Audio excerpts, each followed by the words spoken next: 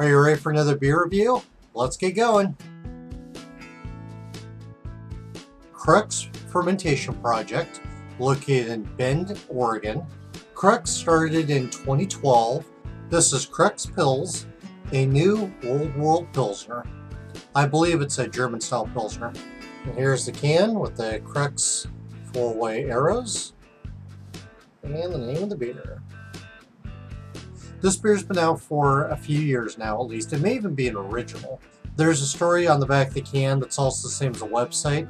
This is not your father's Pilsner. It's more like the Pilsner that belonged to his stern father, the one with all the rules, but who gave you treats whenever your parents weren't looking. Brewed with traditional Pilsner malts, import Czech Saaz, and local Oregon Sterling hops, this Pilsner's first sip shows up with clean lager flavors and then opens up with surprising complexity and softness, developing biscuity flavors, spicy herbal notes, and a hint of lemon. This is the story right here. This beer is available all year round. A six pack of this costs on average $10.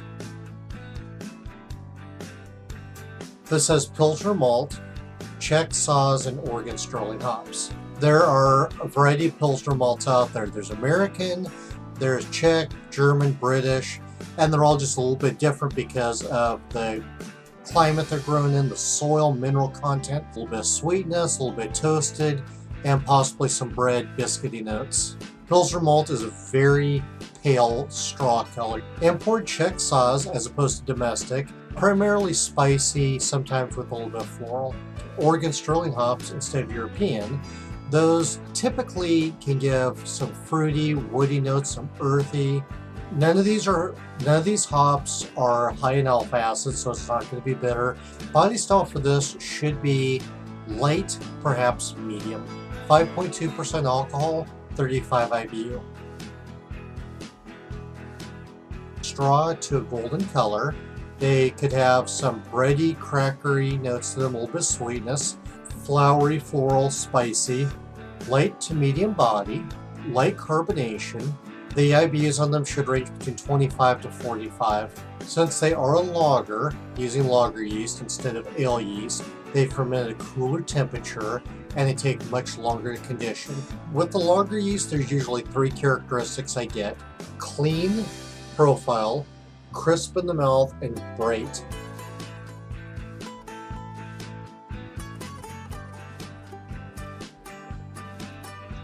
It is straw color. The foam is very thin, almost paper.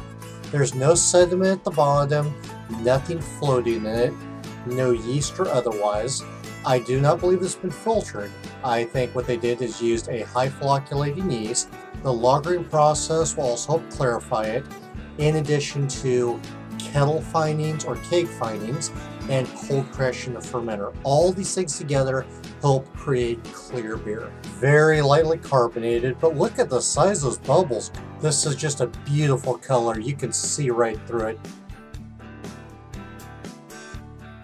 I get a soft bouquet flowers, maybe a tickling in there of some bready notes, very gentle sweetness, a little bit of citrusy. They, they say lemon in here. All the aromas in this are very light.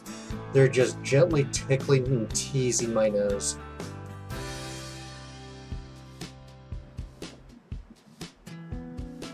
Coating the mouth, top and bottom everywhere, gently brushing back and forth, have lemony citrus, possibly toasted. There's some bready, biscuity notes in there.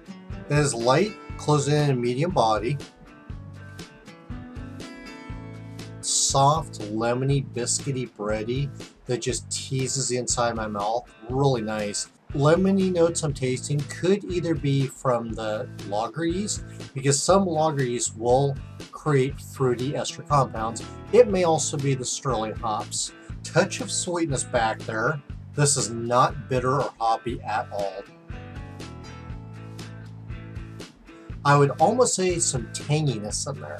Very pleasant. There is a little bit of malt character peeking through. There may be hints of some herbal in there. That lemon flavor, lemon zest I get is just so nice. It's continuously sweeping everywhere in my mouth, doesn't leave anything untouched. It stays there for just a little while teasing me, and then it slowly evaporates. But I'm not getting spiciness from the Czech Saaz. No candy. Not really getting toasted at this point. I'm not getting earthy or herbal aromas or flavors. For the lager characteristics, it does have a clean profile, possibly a little bit crispness to it, not a whole lot, but it's not bright in the palate at all. This one is subtle, simple, there's not a lot going on, but what is there is so nice and very well done.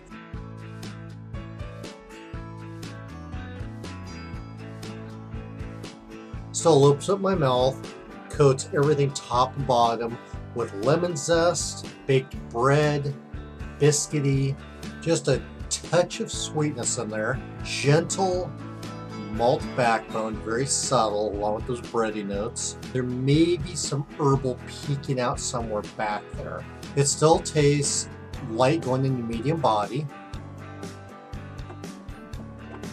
There is citrus notes and it's quite obvious and a slight touch of tanginess. I'm also getting some fruity notes. I, I believe those fruity notes are coming from the sterling hops and potentially from the yeast. Not getting spiciness from the Czech Saaz, no candy notes, no other fruitiness besides the lemon. Not noticing much earthy notes just the herbal, no hop bite at all, not bitter. Again, with those lager characteristics of crisp, clean, bright, nice clean profile, little bit crisp, not too much, not bright. Between the can and the glass, I can't tell the difference. They taste exactly the same. No metallic notes from the can, no diacetyl, buttery, no acetone, paint thinner, nail polish, no band-aid flavors, rubbery, plastic, cidery, no astringency, no hot fusel alcohols. Will I buy this again? Without question. Excellent twist on the Pilsner. I really like this beer. Will I recommend it? Absolutely. German Pilsners don't quite have this much flavor to them. Definitely not this, or not the citrus forward, and they're a little more hoppy. Great flavor profile to it. There's not a lot of flavors going on. But what is there is solid, well-rounded, well done. They complement each other very well. I think this is an above average Pilsner. Crux Fermentation Project, Crux Pils, new Old World Pilsner.